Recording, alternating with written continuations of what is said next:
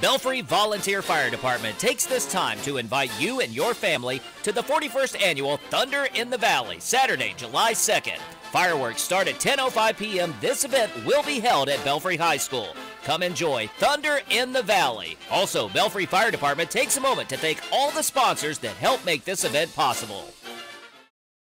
Members of the Bluegrass Whitewater Association and the Viking Canoe Club held a river cleanup on the Russell Fork River starting at the Ratliff Hole campgrounds on Saturday, June 25th. The turnout for the event was not as large as expected due to low river levels, but many turned out to help clean up the river around Elkhorn City and Haysi, Virginia. Well, um, yeah, the problem is that there, has been almost no rainfall.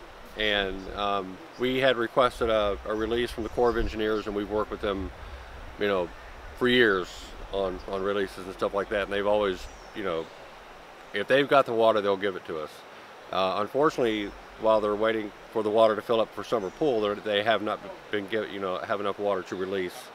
So it's going to be um, a pretty uh, tough uh, cleanup because there's a lot of areas that we're going to be dragging boats and stuff like that, and just walking through just stuff you don't really want to walk through.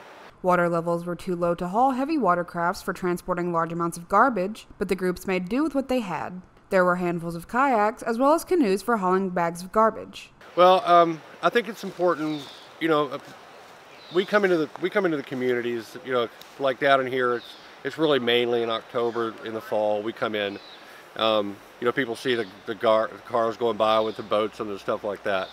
Um, we want them to know that you know we're not just here to take advantage of this beautiful area, we also want to uh, let them know that we're giving back.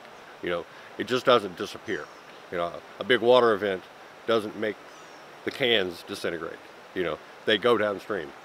You know, and the people upstream are doing the same thing. And if people see us out here picking this up, like I said, it lets them know that this is an important uh, resource the cleanup groups hope to have this same event earlier in the spring of next year in order to circumvent water level problems. For Mountaintop News, I'm Kelsey Dean.